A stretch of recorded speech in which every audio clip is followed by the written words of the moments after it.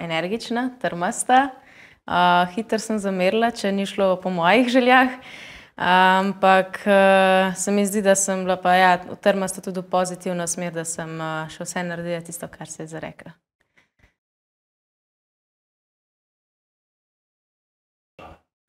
Uh, je v bistvu sam začetek je bil tak, da smo v osnovni šoli dobili letak za dan odprtih urad v Žireh. Um, jaz sem bila itak, ko sem prinesla ta letak domov, sem bila ful vesela, da sem to videla, da so nam to predstavili v šoli. Sem rekla mamic pati, da bi jaz rada skakala oziroma še šla to pogledat. Smo se odpeljali. Uh, jaz sem ko itak še prijem so karkoli razložili tam, uh, sem rekla, da bi pač skakala. Uh, brata sta pa potem uh, posledično tudi sama rekla, da bi ona dva tudi skakala, starejša brata, in uh, smo začeli skupaj, uh, družinsko, dva brata in jaz, uh, in je bilo toliko bolj zabavno.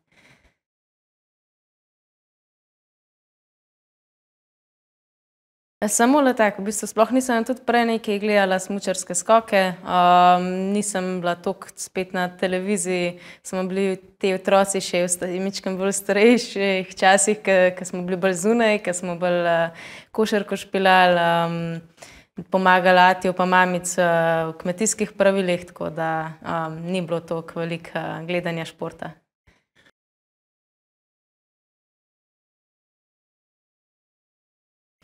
Uh, ja, potem, kasneje, ko sem pač začela skakati, sem, mi je bil najprej idol uh, Gregor Šnirencauer. Uh, tudi naredila sem uh, prav plakat uh, od njega, uh, ful mi je bil en spirit takrat. Uh, potem pa s časom se je to mičken spremenil in mi je postal uh, idol Peter Prevc, uh, pri puncah pa Sara Takanaši.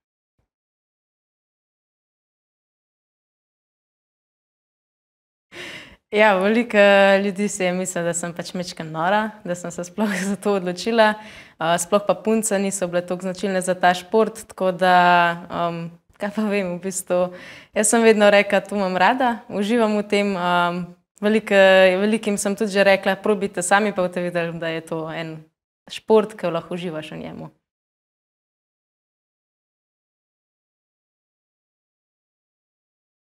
Ful mi pomeni, ogromen. Um, sploh pa takrat, uh, ko ti dobro gre, ti je še toliko lažje. Uh, takrat še toliko bolj uživaš uh, v skokih. Um, ne vem, v bistvu to mi toliko pomeni, toliko enega odrekanja že do zdaj bilo narejenega, da bi mi bilo žal, da bi zdaj že zaključila. Uh, neke cilje imam še, ki jih bi rada izpolnila.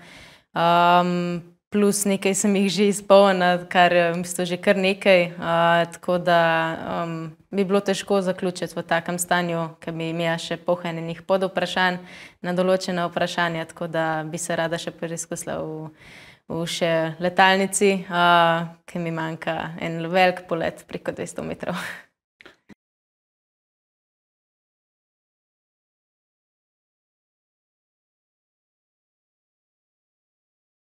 Pa v bistvu že od samega začetka. Um, ko sem prišla na, na, na skakalnice v žiri, ki so rekli, predstavili nam v bistvu smučarske skoke, sem v bistvu jaz videla samo eno mehko skakalnico tam. Ni bilo tistih ta velikih skakalnic, sploh še um, oblikovanih z, lasti, z plastiko, ampak je bilo samo trava, nekako ogrodje je bil, ampak um, jaz jih nisem videla, jaz jih sploh nisem opazila, jaz sem videla samo tisto mehko skakalnico. In takrat sem v bistvu jaz že sama rekla, to je to, uh, to bom jaz počela, um, uživam v tem, tudi prve tekme so mi dali nek poudarek, da sem na pravi poti, uh, sem bila skozi na stopničkah, tako da takrat sem že kar vedela, da to je to. Um, ampak se mi zdi, da bolj odločilen ja, za te skoke je bil pa, ko sem šla pa v srednjo šolo.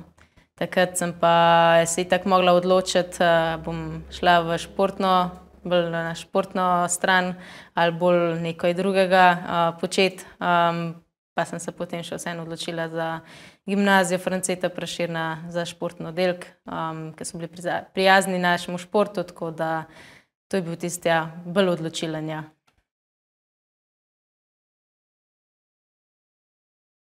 Ja, je, je kar, v bistvu pa enkrat sprejmeš to, daš v svoje življenje, tudi to profesionalen šport, je dosti nekih odrekanj, ne moreš iti tako kot moji sovrstniki, uh, na kakšne žurke si da duška, um, delati, kar si želiš, ampak tle res moraš v bistvu nekako tudi paziti na svojo linijo, svojo telesno težo. Um, moraš uh, biti toliko bolj strikten in uh, deloven, predvsem tudi doma, kadar um, sploh v teh obdobjih, ko je bila korona, si mogel biti zelo deloven in trmast, da si naredil tudi sam zase nekaj, ker niso bili možni treningi uh, skupaj z ekipo. In um, ja, v bistvu profesionalni šport je res uh, neka linija, neka stvar, ki se odloč odločiš za njo, da, da moraš biti v bistvu res uh, trmast in odločen na določenih stvarih. In, um, jaz sama moram reči, da, da, da sem tle ta prava za take stvari in da sem vesela, da sem prišla tudi tako visoko v tem športu, da smo skupaj z dekleti uh, ustvarile tudi neko lepo zgodbo za sabo.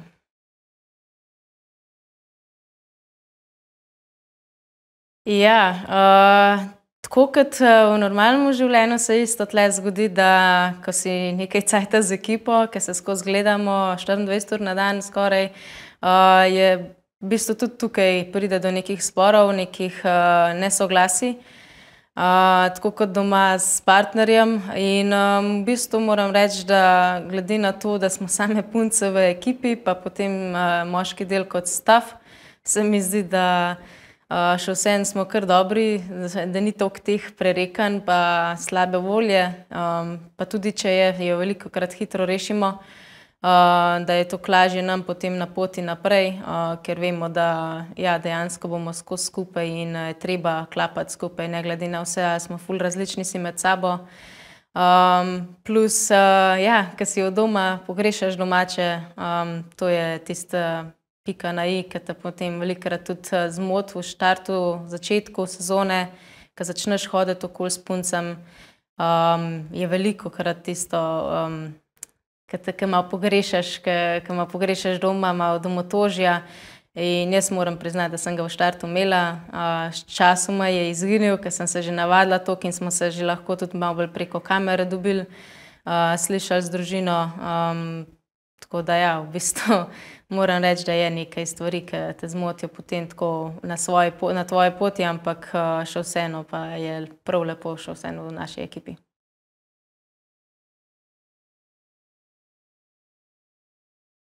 Ja, jaz sem to takrat, ko sem bila v srednji šoli, v dijaškem domu s ostalimi puncami, ki tudi niso športniki tam v dijaškem domu, šele sprejela oziroma videla, kako je to. In vsi so rekli, ja, gremo ven, gremo na žurko. Um, mi smo pa tako, pa če ne imamo pa jutri trening, zgodaj zjutraj, treba ostati, uh, to pa težko za nas, to ne moramo mi se tega iti. Uh, še vsem, uh, potem, ko si še enkrat više, eno stopničko više v ženski reprezentanci, si tega sploh ne moreš lih prav prejoščiti. Ampak, če pa tako potegneš neko črto pod vse to, uh, bi pa lahko normalni ljudje to razumeli oziroma sprejeli, da smo mi tudi lih tako navadni ljudje, ki bi lahko si tudi uh, take stvari kdaj prvošili ampak enostavno ni časa za to. Tako da bolj iz tega vidika, da nimamo časa in si ga ne moramo bistvu predvsem pridobiti.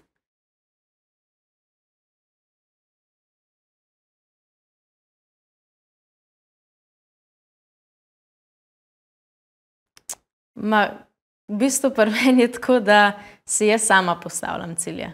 Jaz se vedno rečem, to je moj cilj za to letošnjo sezono in velikrat, oziroma do zdaj se je vedno uresničil. Um, Tako kot je bilo dve leti nazaj, po prvi tekmi sem vedela, da grem na globus. In se nekaj, jaz grem na globus, druga sem bila po prvi tekmi v Ramzov, takrat sem se kar odločila, jaz grem na globus. In uh, v bistvu uspelo mi je, dobila sem ga in um, uh, potem se je to tako nadaljevalo naprej. Jaz sem isto želela medaljo, vsaj medaljo dobiti na svetovnem prvenstvu in sem si jo tudi pač prislužila, dobila sicer ne najbolj leskatočo uh, pač medaljo, ampak. Uh, slejko prej bo tudi ta v mojih rokah, vsaj upam, da to leto. Um, drugače pa, ja, v bistvu cilje si predvsem sama postavim, si jo uresničim in um, potem je to lažje, če si je pa ne uresničim, si je pa pustim za prihodnje leto.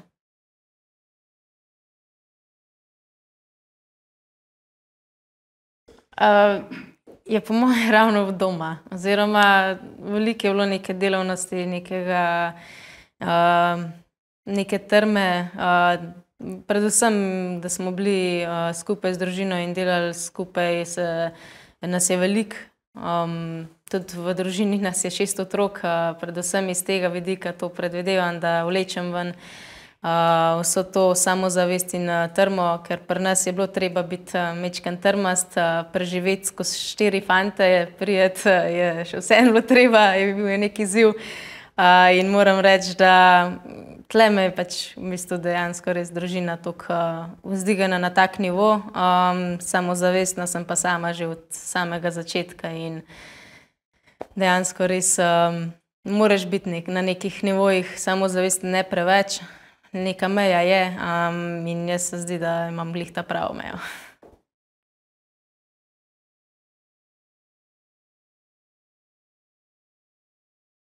oj, oj.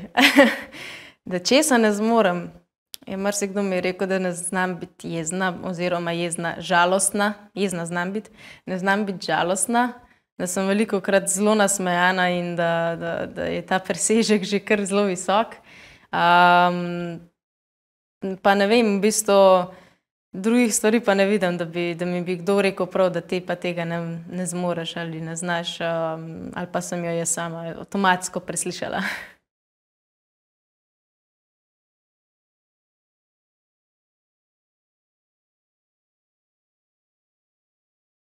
O, ja, jaz sem ful počaščena tle, da je to tako se spremenilo, da je šlo to v pravo smer, da smo punce imeli, dobile tudi to priložnost, da Eh, recimo lahko skačemo na 120-metrskih skakalnicah, kar to prej ni bilo.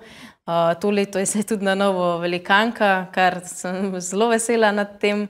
Uh, tako da v bistvu, če tako sama povzamem od samega začetka, odkar sem že v ženski reprezentanci, pa v svetovnem pokalu, lahko vidim, da se je, so se ženski skoki zelo spremenili. Uh, šli so v tako smer, zdaj po sedmih letih, sedem let že skačemo v svetovnem pokalu, je kar um, se premaknila linija skokov na zelo visok nivo. Uh, prišlo je tudi veliko tekmovalk iz drugih nacij, ki nismo pričakovali, um, da so ratele konkurenčne, da, smo, da je ta v bistvu uh, konkurenca, ta boj za medalje, za, za stopničke, ratal veliko bolj strnjen. Um, se mi zdi, da, da je samo poudarek, da smo na pravi poti dekleta in da si tudi mi zaslužimo ta šport, um, da smo v bistvu uh, zelo blizu fantom, ampak uh, še vseeno so pa fanti, tudi uh, če že tako pogledamo, kot telesno, kot vse fizično pripravljeni, veliko bolj na višjem nivoju bo težko biti uh, tako dober kot fanti, ampak uh, lahko pa se primerjamo same s sabo, punce in um, tle pač uh, smo lahko tako bolj vesele zase.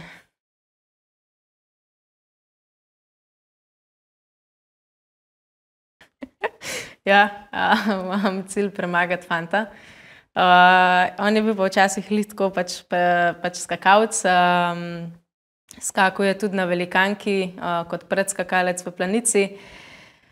In je skočil najdalj 217,5. In uh, željo imam tudi jaz skočiti sicer prav v planici, da bo to enako vredna tekma in ga pač preskočiti. In če bo to možnost, bi bila zelo vesela. In um, v bistvu, vem, to bi bila še ena točka, ki mi ne bi pač mogel reči, da je on boljši, ampak da bi lahko jaz končno potrdila, da sem jaz boljša od njega.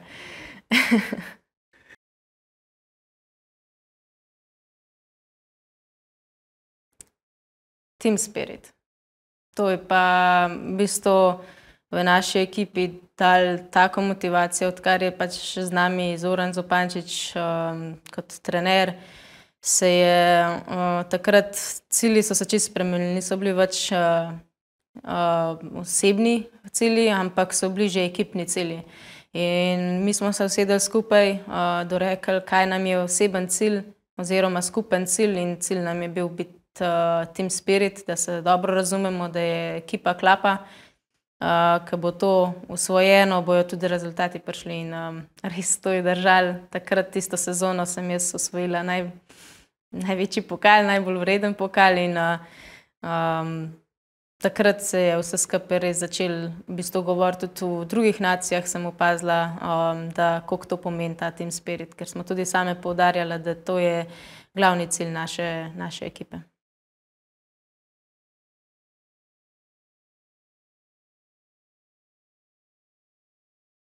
Ja, tudi kadar nam ne gre, uh, recimo, če že sama pri sebi pogledam, tudi ko meni enkrat ne gre, se provam zadržati tisti trenutek, uh, zadržati tiste občutke žalostne, jezne pri sebi, da jih bom potem ven dala iz sebe, ampak da sem najprej vesela za celotno ekipo, ker um, ekipa, če doseže en vrhunski rezultat, recimo, da je Urša tako, kot je bila v zadnjo, pač na stopničkah, si vesel za njo, si vesel za celotno ekipo in takrat ekipa tudi zrase. Um, potem po tekmi, pa če si imel slab rezultat, magar nekam v kot, um, da tiste čustva ven, se zjokati, uh, pa potem pozabiti na te na to tekmo in iti dalje. Nikoli ni konec, nikoli se ne bo svet podaril zaradi vseh teh stvari, ampak vedno je treba zgledati pozitivne strani. In tudi, ko nas, ko nas punc ni na stopničkah, še vseeno se pač spodbujamo in vemo, da to niso slabi rezultati in da znamo skočiti na stopničke, pokazali smo veliko krat in to je nam zdaj bil glavni cilj v tej sezoni in zdaj smo dobili stopničke, tako da gremo samo še kar.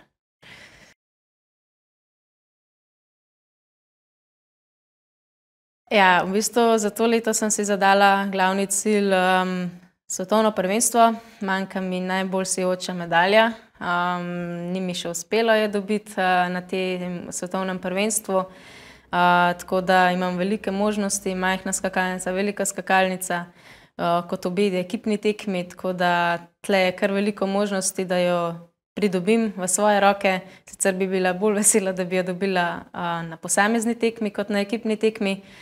Uh, poleg tega imam cilj um, preleteti 217,5 metrov. Um, verjamem, da bom. Uh, saj fant je rekel, da glede na moje skakanje, pa njegovo takrat, ko je skočil toliko, da znam ga preskočiti, za šalo malo. To bomo videli, kako bo to res. Um, uh, potem pa še v bistvu Sovica. Sovica mi je lansko leto ušla iz rok, iz uh, novoletne turneje. To leto je novoletna turnaja ravno pred urati, tako da upam, da mi to leto ne odleti predaleč, da gre samo do sosedov pa nazaj. Um, to, kar imamo tekmo v Filahu, tako da um, potem pa nazaj v roke slovenskih uh, tekmovalk.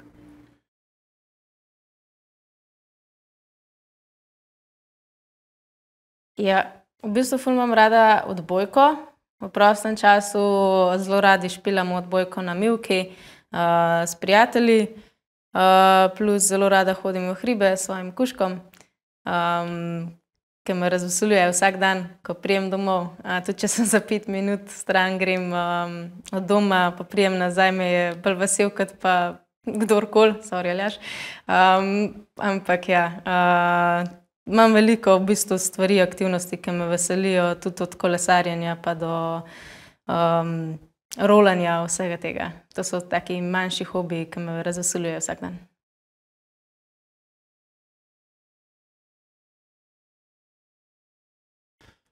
Ja, v bistvu rada pritisnem kdaj na gas, če sem iskrena. Um, kdaj, uh, predvsem imam rada hitre avtomobile.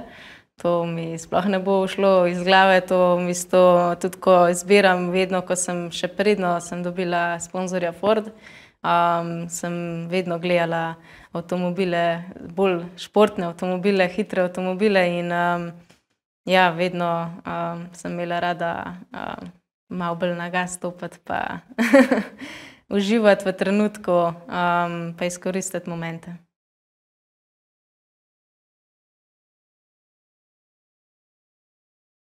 Smučanje ali smučarski skoki? Jaz bi rekla smučarski skoki. Definitivno. Um, pa ne zato, da bi zdaj karkoli želela smučanje, ker verjamem, da so tudi oni zelo na visokem nivoju. Uh, tudi tja pride veliko ljudi spodbujati, ampak se mi zdi pa, da je planica tista, ki zaznamuje v bistvu cel šport v Sloveniji. Pride, zbere se ogromno ljudi in takrat je, um, so smučarski skoki v bistvu od, zaradi same planice se mi zdi smučarski skoki tako slovijo po Sloveniji.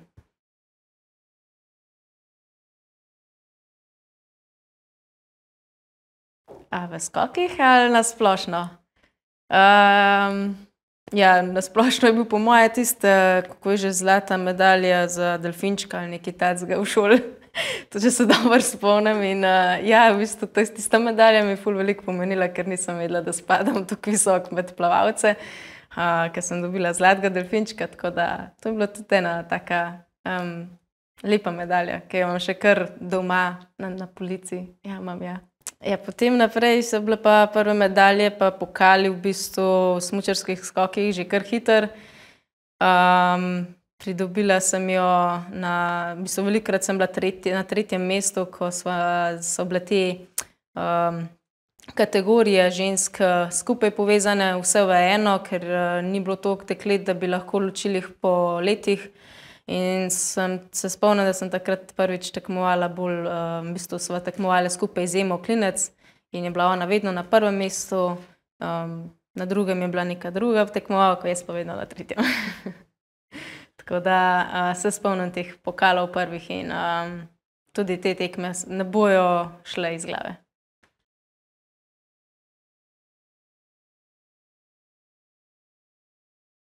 Uf, uh, skozi leta se je kar nekaj nabrali teh medalj, pokalov, tudi doma sem jih osvojila ogromno.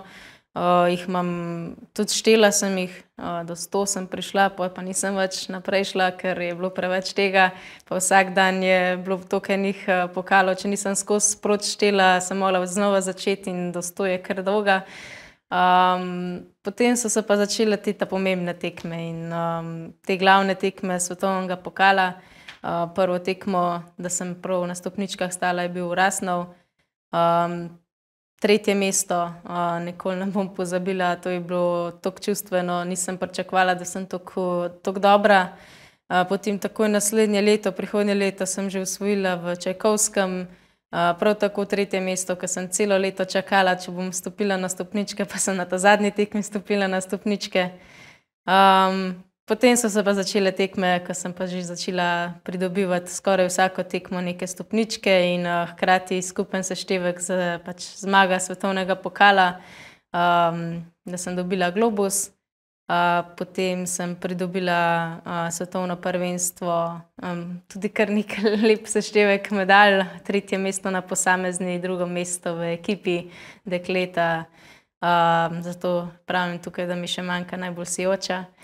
Um, potem sem pa naslednje leto bila druga, uh, svetovno, svetovno pokal v seštevku in hkrati tudi medalje iz olimpijskih, um, ki pa ne bojo pač izginile tako, kar tako iz glave.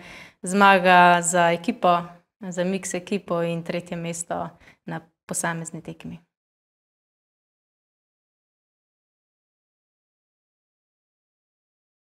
Ja, v bistvu prav med športi se nisem odločila, ampak sem se bolj tako, ko sem šla v srednjo šolo, sem se mogla odločiti ali za skoke ali pa za frizerstvo. ja. v bistvu za frizerstvo, pa zato, ker sem doma frizirala vse bratce, uh, sem jih, so mi bili pač tako neki ziv in sem vedno, kadar sem jih frizirala, me je vsakeč bolj gnalo v to smer, da bi bila frizerka na koncu. Um, Pa je pa ta iskrica mogoče mičken uh, ušla iz glave, ker je bila, pa skoki so bili toliko bolj pomembni za mene takrat.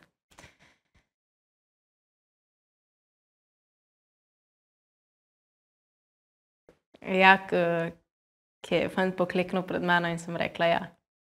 Takrat sem bila ponosna na se.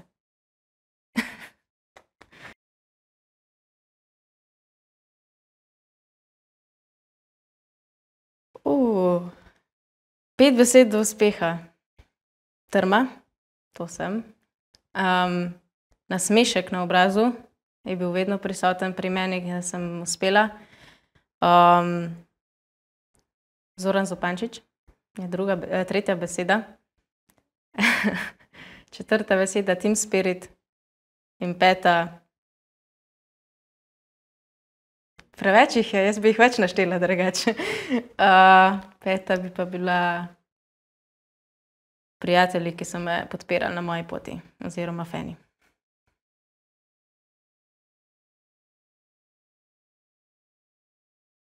Ja, zelo.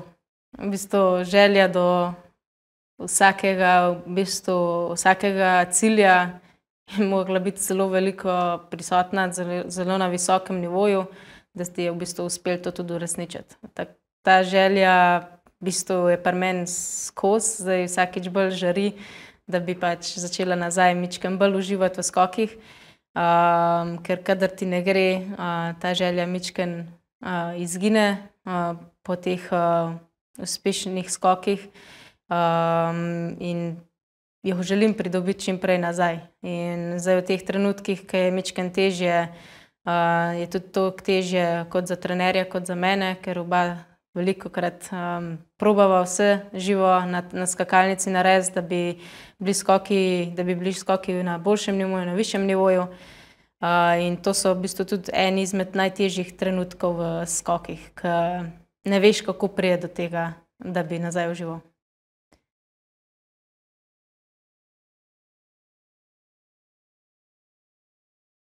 Zelo pomembne so sanje. Jaz sanjam vsak dan um, z, zelo, z zelo visokimi cilji, um, kot tudi sanjam o kakšnem bolj, bolj čudnih stvarih. Um, ampak predvsem pa, kadar sanjam, sanjam vedno o skokih. Um, tudi uh, realno nikoli nisem sanjala prav nekaj drugega življenjskega, ampak prav kako jaz vedno uspem oziroma ali pa kako se mi kdaj po nesreči skok in jaz upam, da bo čim več teh sanj, uh, ko mi uspe in da si jih uresničam.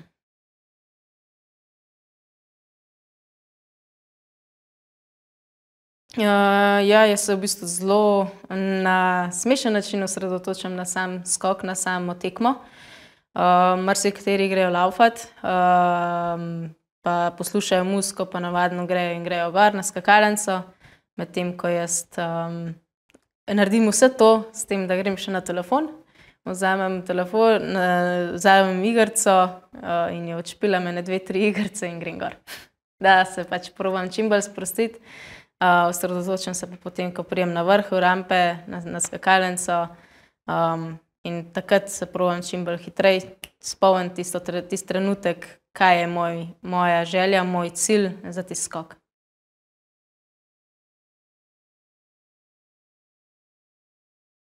Takrat šiba veliko, veliko nekih čudnih informacij ti skozi glavo. Um, razmišljaš o, o vetru, o tekmovkah, ki so skočile pred tabo, o tem, ali imaš zapeta uh, smoči, um, o tem, kako dobro se počutiš. Uh, in vsakič je drugačen občutek. In sploh, ko je spodaj komentator in ko glasno vzklikne pred tabo, se osredotočaš na to, kako je una delec skočila. In probaš poslušati, mišken zelo všesen, kako je delec šla in probaš ti preskočiti to, te metre. Um, je pa to veliko krat narobe pri meni, ker um, veliko krat to pride do tudi do neuspeha po veliki želji in takrat se skok uh, bistveno spremeni in ni najboljši skok. Tako da na rampi je veliko, veliko informacij, ki so nepotrebne.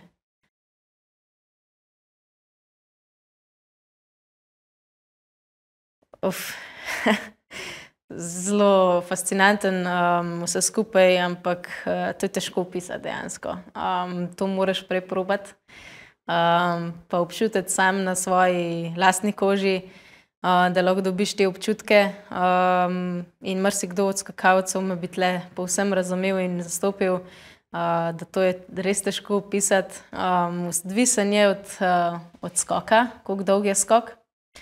Uh, če je skok slab, uh, so take muke v zraku, ker se je treba popravljati, uh, dobiti neko linijo, da boš probo še čim več ven iz skoka pridobiti, uh, čim več metrov pa potem telemark narediti.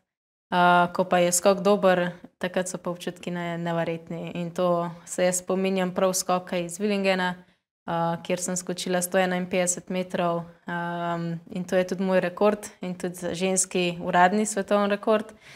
Um, in je bil res nevreten skok. Uh, takrat, ko te veter, veter uh, vzdigne, letiš še dva metra dlje, tri metre dlje. Um, občutek je nenormalen, ker te začne povzdigovati, ker v bistvu ne padaš in imaš prav občutek, da malo letiš. Uh, probaš čim več ven iz, potegniti še iz tega skoka in um, takrat sem za šalo pa tudi pristala v telemark, ker imam velikokrat težave, s samim doskokom in moram reči, da je to bil neverjeten občutek.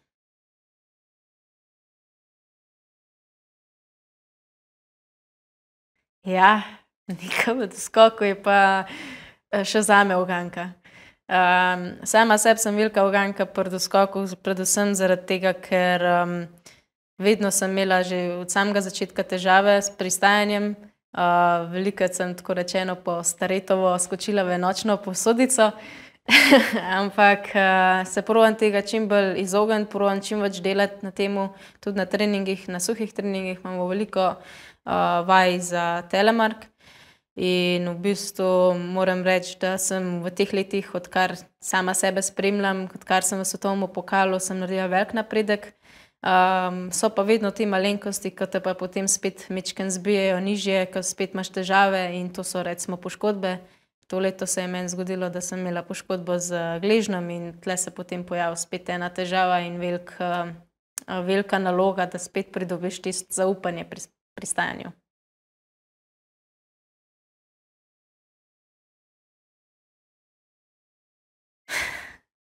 Let. Gladkolet, v bistvu, najbolj me privleče, da pač letiš in uživaš v skoku. Da čim dlje letiš. To je glavni razlog oziroma glavna stvar, ke me najbolj veseli v skoku.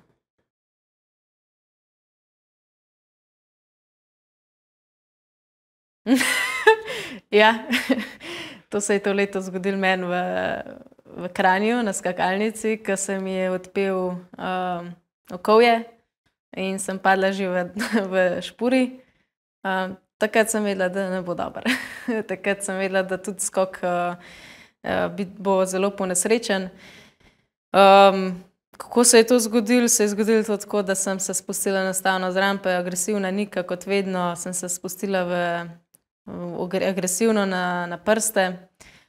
vezi zadaj niso, držale, so spustile, in sem pokleknila na kolena, še v špuri, se parila, se odzignila z rokami nazaj gor, prijela za klinčke zadaj, te, ke pridejo v čevelj, sem se parila in upala na najboljše do konca mize. In, bil je tako močan veter v, v prsa, da sem v bistvu, da sem, da so mi v bistvu klinčki ušli iz rok in so smuči šle samo gor in sem pač padla. Tako da to je bil en najbolj ponesrečen skok v mojem življenju.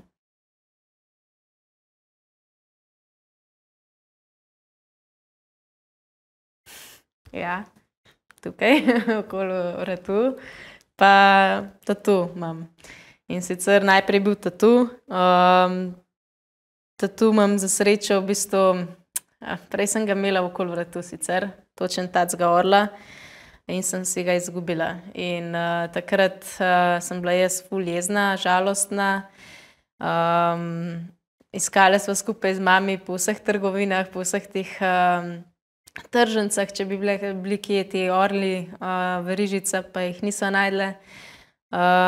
in potem sem se sama odločila, nič, grem dat, tatu, ke bo za vedno, za večno na moji roki in v bistvu pomeni, v bistvu je moja najljubša žival. Potem so urni kazalci in, malo zarisan v bistvu kompas, kar pomeni, da grem v pravo smer ob pravem času, in, zarisani sončni žarki pa pomeni upanje. Tako da, to je ta, ta je pa Be happy, ke sem pač, kadar sem slabe volje, moram biti vesela.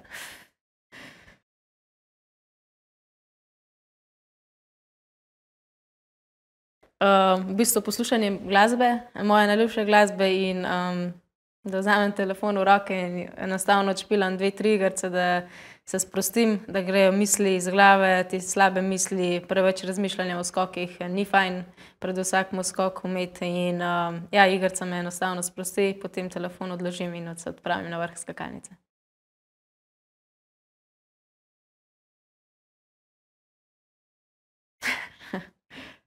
Da sem jaz ful energična, po moje, ne vem, ne vem, če ima še katera toliko energije, kot pa jo imam jaz pa ke jo jaz izražam na treningih, Saj so tudi ostale zelo vesele pa pa zabavne, ampak se mi zdi, da sem pa jaz tako ono ekstra že malo preveč.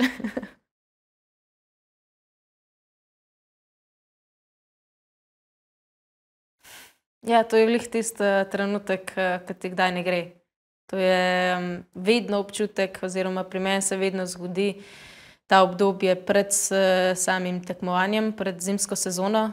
Um, ena, dva meseca prej, vedno je najtežje ta obdobje. Um, ne veš občutkov, uh, ko izgubiš občutke, uh, je najtežje. Težko je biti zelo konstanten in ohranjati tiste občutke iz konca sezone, iz prejšnje sezone uh, ker se tudi telo spremenja, uh, kilogrami se višajo, nižajo in um, v bistvu nimaš skozi istih občutkov na skakalnici in takrat je najtežje. In uh, ko iščem jaz in išče trener, kaj bi bilo prava linija, pravo, um, prava stvar za dobre, uspešne skoke.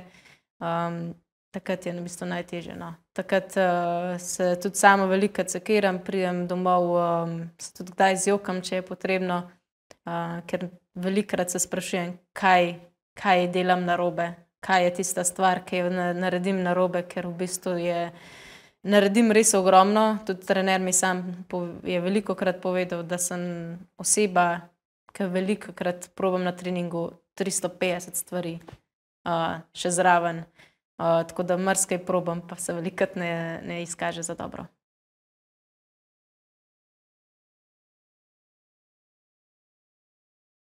Tudi ja. Uh, delamo v bistvu vsaka dela s svojim psihologom.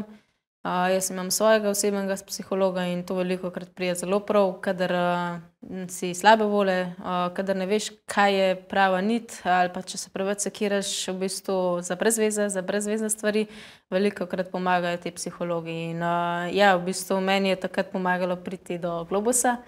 Um, Imela sem v bistvu zadnje tri tekme pred uh, pridobitvijo globusa v roke, sem imela zelo težke dni, zelo sem bila živčna, pojavili so se m, kar naenkrat neki novi občutki v telesu, uh, stres. In takrat um, sem poklicala svojo psihologinjo en dan pred tekmo, so se pomenile, kaj narediti, um, in v bistvu najdle pravo nit, da sem uspela potem pridobiti uh, tiste svoje najboljše skoke, svoje občutke, da sem lahko skočila še vse en dokaj sproščeno in da sem na koncu lahko odzigala na globus.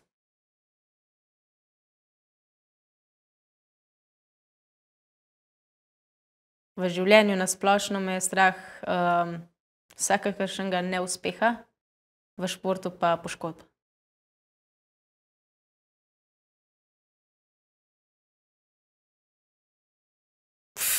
To trener najbolj videl, ker on sestavlja nam treninge, ampak veliko, veliko ponovitev. Ni bilo pa kar velika številka, po moje, vseh teh ponovitev, ki jih naredimo. Um, ogromen treningov, ogromen uh, neke moči je prisotne v poletnem delu, potem proti zimi pa že toliko manj, zaradi tega, ker uh, imamo bolj na specialni, na bolj na tehniki delamo, da, je, da so potem skoki samo še občutek, da zaupamo svojim občutkom in skočimo tisto, kar imamo trenutno v nogah.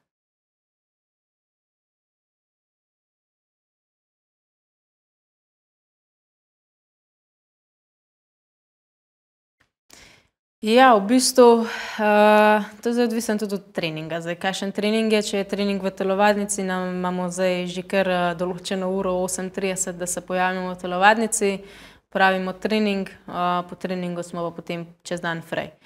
Um, če so to neke kršne priprave ali pa skoki v planici, da dvakrat skačemo, se odpravimo v planico, tudi spet zgodna ura.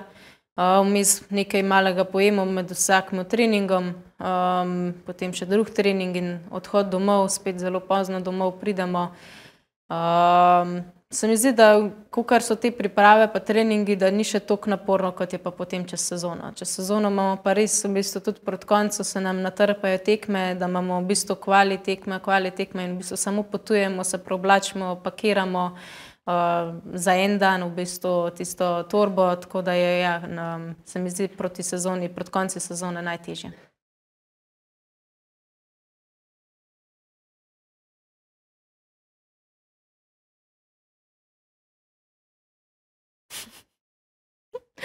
Pa ni privat življenje tako težko, sem zdaj, samo po nastavci ga moraš, tako da bi rekla, težje medalje dobiti. teži medaljo, gladko, tle je um, ful velik za delati. Ne rečem, da pri partnerskem odnosu ni, ampak uh, ker se že tako tako dobro poznava z, z fantom, se mi zdi, da je to sam lažje, oziroma že avtomatsko se pač vedno, ko skrijem domov, so drugega vesela in ni teh nihanj v privat življenju.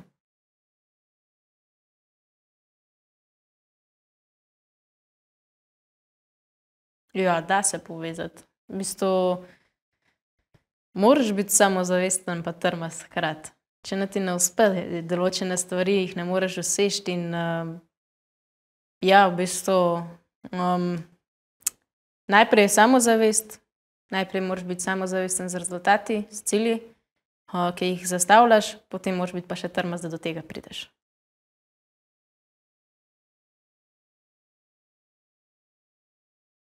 Ja, bila je meja med nami, med fanti, pa med nami puncami, predvsem v velikosti skakalnice, oziroma recimo poleti, uh, ko so pač eh, velikanke, ki, ki, ki skačemo. Uh, tle je bila neka meja, ki mi nismo smele, ker nismo imeli tudi zelene luči. Ampak zdaj jo imamo, tako da se mi se vsakeč bolj temu približujemo tudi pač uh, fantom. Uh, tako kot sem že omenila, se mi zdi, da se punce vsakeč bolj približujemo temu, um, kjer je edina meja, je v bistvu fizična moč, Uh, fantje so veliko bolj fizično, se mi zdi, tudi pripravljeni. Uh, ampak tle imamo pa mi punce prednost, ker smo pa gibljive veliko bolj kot pa fantje.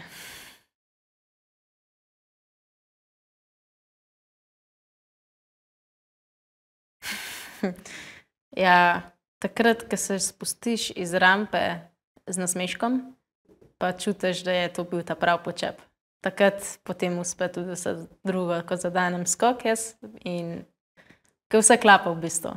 In pri meni se mi zdi, da je glavna linija tukaj v bistvu res uh, zadeti mizo. Ker jaz zadanem mizo, potem se nekako poklopi vse in uživam v skoke.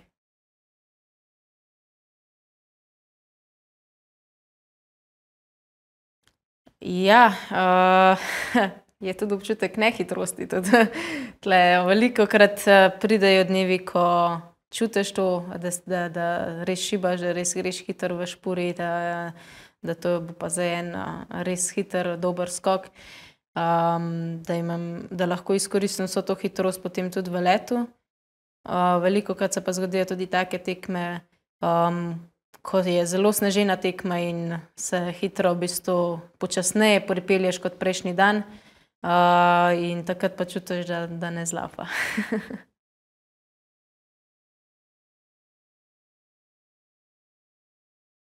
ja, to je v bistvu tako, ko skočiš dobro, um, pa ko smočke pridejo tako, kot morajo priti, na fleho, mi pravimo, se pravi, da so lepo poravnane uh, z, z nos kakalnico, uh, da niso več zakrivljene na ven.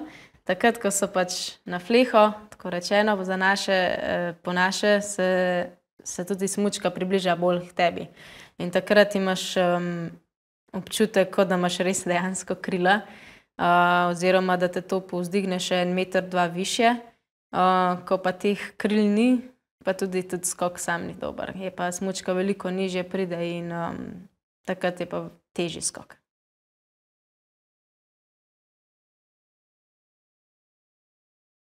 Ja, v bistvu najprej se meni mora že zjutraj poklopiti vse, da vstanem s pravo nogo, da sem nasmejana, da nekaj dobrega pojem in se odpravim najprej na en tonus, ki ga imamo skupaj pred kakšno tekmo. Uh, nimamo zdaj sicer vsako tekmo uh, tega tonusa, ampak uh, kadar ga imamo, pa da se počutim na tem tonusu vrhunsko in na imitaciji, um, potem je tudi to moj dan, ko se vse poklop, še na skakalnici vrhunsko poskačem in to je to.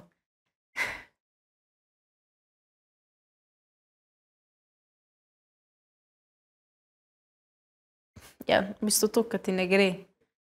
Kadar ti ne gre, je najtežje v bistvu. Takrat uh, ti potem grejo na živce tudi marsikeri novinari, uh, potem ti gre um, trener uh, od fanta, takrat probaš vse mečken, takrat vse odstranjujem in um, posledično v bistvu tisti, ki me poznajo, se odstranijo tudi avtomatsko stran od mene in me pustijo tistih par minut, da, da jaz dam iz sebe ven. Uh, potem se pa že, približam vsem tem osebam nazaj in um, se vam kaj hitro tudi zelo lepo.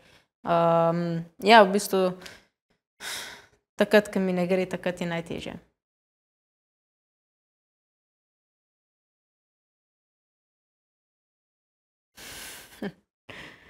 Ja, v bistvu moj recept za uspeh je nasmešek.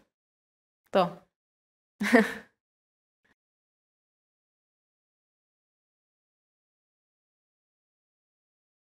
Ja, samozavestna, nasmejana, um, da združujem ljudi okoli sebe, da povezujem ekipo, uh, to mi je to mi je tak športnik, ki stoji zraven za vsemi temi uh, puncami, ekipo, trenerji, uh, ne glede na vse.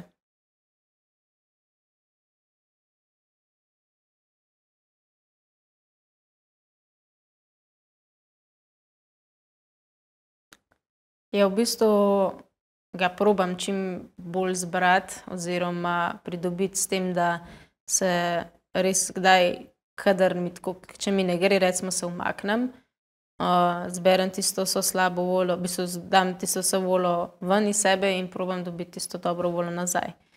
Um, veliko tudi pomaga že žoga, nogometna žoga, um, pa da jo brcam v steno, nekaj cajt, da tista volja gre stran od mene.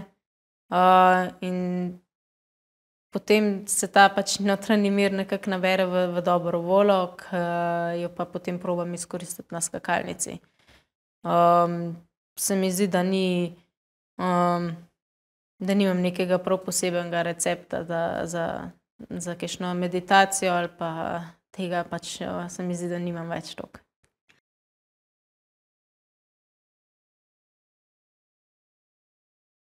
Ja, je pa to z žogo mogoče. Mislim, da ja, v bistvu za odklop je samo to, da velikrat mi že tudi pomaga ekipa. Ker vidijo, da sem slabe vole, da kera pristop do mene, spremem njene kritike, tudi ej, nikad nisi dobre vole, dej, ali pa ne vem, neki kvate muč, da se pač izpovem, da povem to ven iz sebe, da pač una spreme to moja slabo volo, če pa je ne spreme, se pa raj umaknem. In to veliko krat uh, raje naredim to, ta druga stvar, ker nočem prenašati nobene slabe volje na ekipo, ker želim, da ostanejo ostale pač uh, enako dobre volje, kot so bile, ali pa še boljše volje, in da raje sama pač se pogovorim tam z eno steno, kot pa da uh, to drugi osebi povem.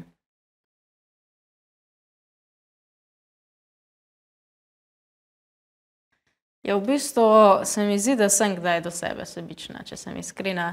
Uh, Velikokrat se um, skregam sama nad sabo, tako bom rekla, oziroma se, uh, se dajem, da je krivdo na sebe, na svoje ramena, uh, predvsem na kakšnih ekipnih tekmah. Takrat se počutim večkrat bolj uh, sebično, ampak drugače sem pa um, dokaj, v bistvu se mi zdi, da sem dovolj in nič več in nič manj sebična. Tako.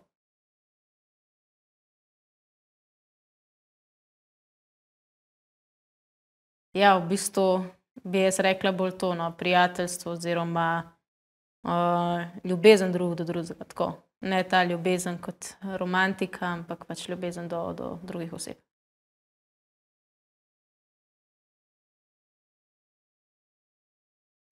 Ja, in ko ne nazaj rečem na to. Rečeš nika. A ja, ok.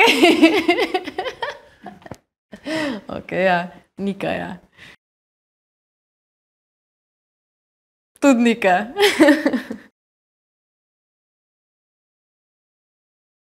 Nika.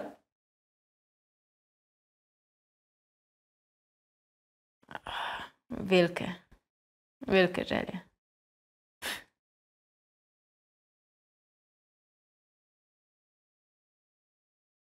Fizioterapija me zelo zanima. Fizioterapija ali slaščičarstvo.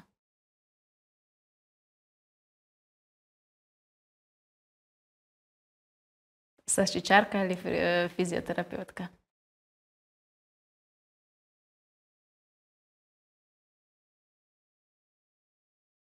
O, velikih je bilo. Tle bi lahko kar naštevala, pa ne bilo konca. Um, predvsem sem vesela, da je to več joka v pozitivni smeri, da je bilo več uh, teh sov smeha in, oziroma sreče. In to so bila, naj, najbolj se spomnim, olimpijskih. Tle je bilo toliko sov, uh, da bi lahko napolnila cel bazen. Tako da tle je bilo najbolj.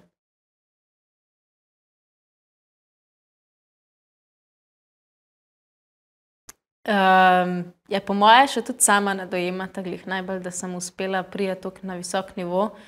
Um, kot mene veste, tudi sama starša, da se, spomne, se spomnite, da sem bila zelo taka um, ja, energična, trmasta, um, tudi zahteven otrok, če sem iskrena uh, v naši družini. In uh, niste pričakovali, da bom tako visoko prišla. In mami je bilo v štartu zelo, zelo strah teh, tega športa, da se ne bi kaj naredila, da se ne bi poškodovala. Leteli smo še vseeno, oziroma skakali na smučah v zraku, to pač je bilo njej nekaj novo. Ati je pa pač ati je pa zadovoljen in vesel, da, da delam to, kar me veseli. In moram reči, da je to leto se v obeh pojavil nek strah za velikanko, ki smo dobili odobren v bistvu je imel strah, da bi šla jaz na to. Ampak sama si res to ogromno želim uh, in moram reči, da uh, ja, veste, da mi bo uspel, tudi ne glede na to, da, da jo je strah. Veste, da bom zmogla, da sem vedno si uresničila cilje, vedno sem se pobrala tudi iz kakšnega neuspeha in ona dva sta velik support men uh, skozi celotno mojo kariero do sedaj.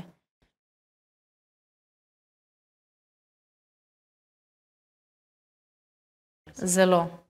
Tudi ona dva sta se mogla kar odrekati marsikateri stvari, da sta me sploh prišla kdaj pogledati na tekmo. Sem zelo vesela, da sta prišla. Uh, čeprav veliko krat nisem sama rekla, da naj prijete, sem rekla, pač podite naj doma, ni potrebno. Um, ker doma imamo še vseeno veliko dela, kmetija in um, pustiti uh, doma živali in iti na tekmo, mi je bistvu, da sta to naredila veliko krat samo za, za mene, da sta me prišla pogledat, mi je bilo veliko čas, da sta prišla me podpirati na vsako tekmo, plus da sta me vozila kot mlajša na vse te treninge.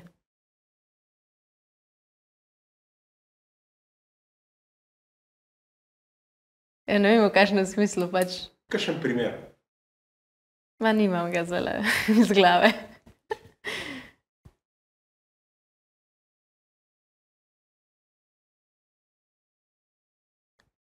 Definitivno.